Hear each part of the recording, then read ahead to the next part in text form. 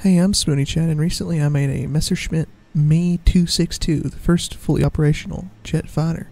It was used by the Germans toward the end of World War II, and I think it's pretty cool. And today I'm going to be sending it to Laythe because why the heck not, you know? Um, here's the rocket I'm going to be using to get it to orbit and then to Laythe. It's a bit unwieldy, has a giant fairing stuck on the end of it. but it'll do the job. Uh, anyways, though, if you want to skip the trip, there'll be a uh, timestamp somewhere on the screen around here, and uh, that'll be for the Laythe arrival. And uh, uh, you can also use the chapter thingies to skip around the video, get the specific points. I'll put one for like every major milestone in the video. Uh, for everyone else, please enjoy me absolutely sucking at efficient launches. I'll be brute forcing my way all the way to Laythe, as I always do.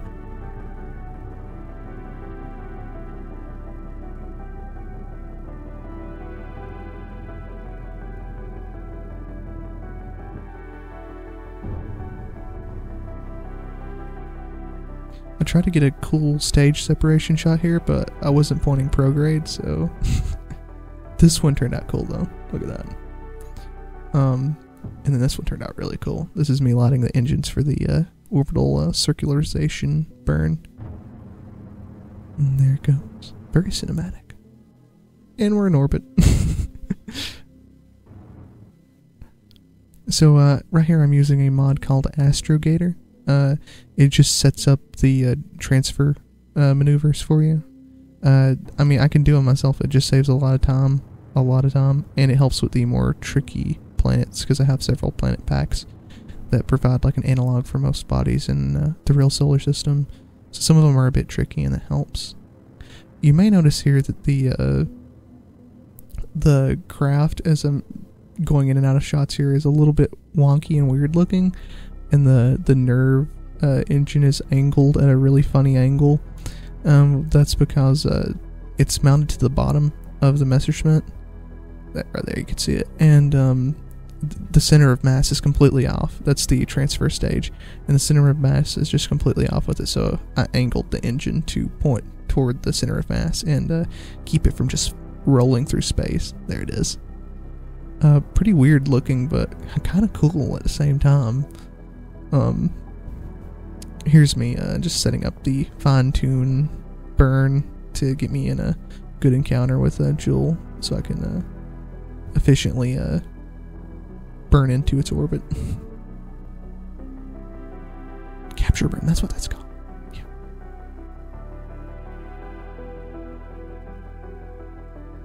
Okay, now we're in the uh, Sphere of Influence and uh, try to get a cool shot of Jool approaching. It turned out, oh, kind of okay. Jeb's just casually been up there for uh, probably like a year at this point, a year or two.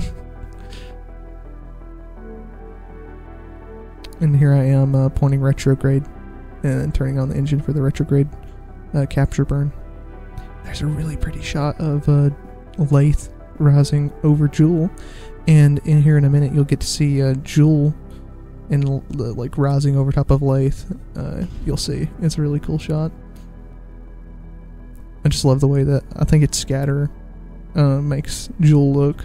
When you get up close to it, you can see the scattering and like sunsets in the atmosphere. It's really pretty. Here I am, uh, completely botching an encounter with a Laythe until it just magically, I, I just magically get a good one. There's Jeb. I don't know if that's a mod or what that I've got, but it's uh, Alt C to get him to pop up in the cockpit like that. But it's absolutely hilarious to watch his facial expressions during uh, uh, time warp and stuff like that. But here we are at Laythe, and uh, Laythe is looking pretty darn good. Um, here I am just bringing the periapsis down until it's actually in the atmosphere because I'm not really sure if I'm going to be able to uh, do a capture burn. And then this, this shot. Mm. I'll just let it speak for itself.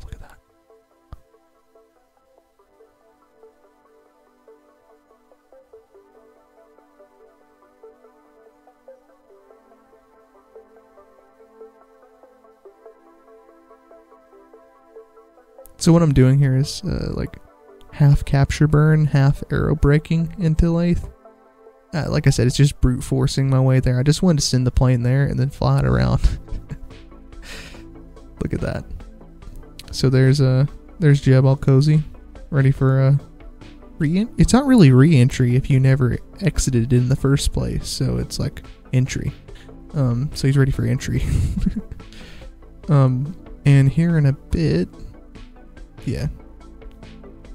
Here in a bit, you'll actually we'll actually be back in daylight where you can see stuff going on.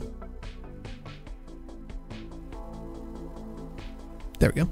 And uh, I'm just going to turn retrograde and uh, try to uh, burn a little bit, I guess, and uh, burn off any extra speed that I have. Because uh, I didn't really design the Messerschmitt to uh, to withstand reentry. Uh, it's just it's just a plane that I built. I built this plane a long time ago with TweakScale actually and uh, procedural parts. There's the uh, stage uh, transfer stage getting coupled, and we're pointing in the frontward plane direction that you're supposed to go in if you're a plane. And uh, anyway, though, I built it before, and I wanted to send it to the Laythe, but I did, didn't have the skill set then to do something like that.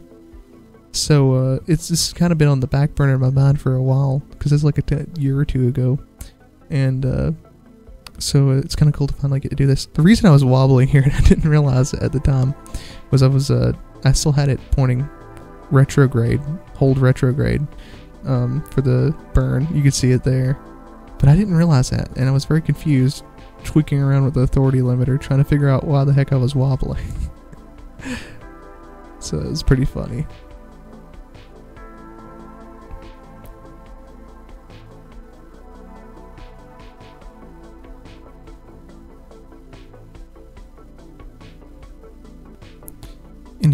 See uh, me flying through those beautiful, beautiful Eve clouds on Laythe. That doesn't sound right because Eve's a planet, but the Eve mod clouds. Um, I don't have parallax. You'll you'll see as I come to the surface. I, I don't have parallax, and there's a reason for that. To have parallax, uh, you also have to have a uh, pretty beefy computer to run parallax, scatter, and Eve. I can run one, well, two of those because I'm running Eve and uh, scatter, but I can just I can run parallax by itself is the point. But once I add in scatter and Eve, it, it it's it's not happening. It's not happening.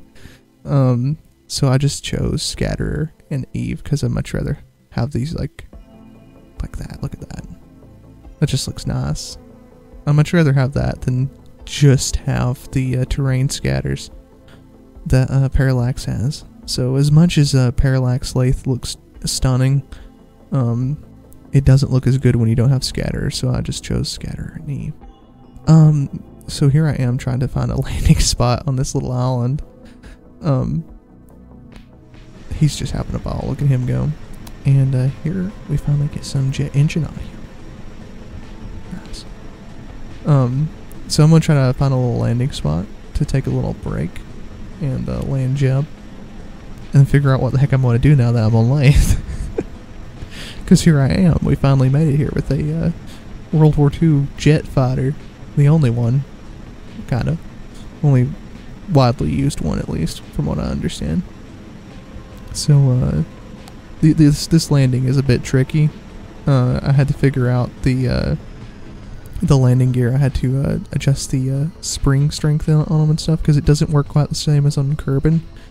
Because uh, Laythe has slightly lighter gravity, I'm pretty sure. Um, for whatever reason, though, uh, it's a pretty tricky little landing here.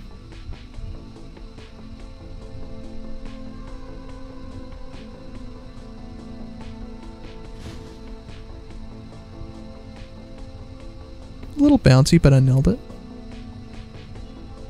Yeah, there's me happy.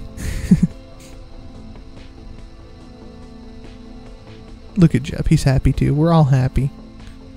Um so now I take a little break in real life after this and I'm like thinking about my life decisions and I've put a uh, replica of a Nazi plane on Laythe.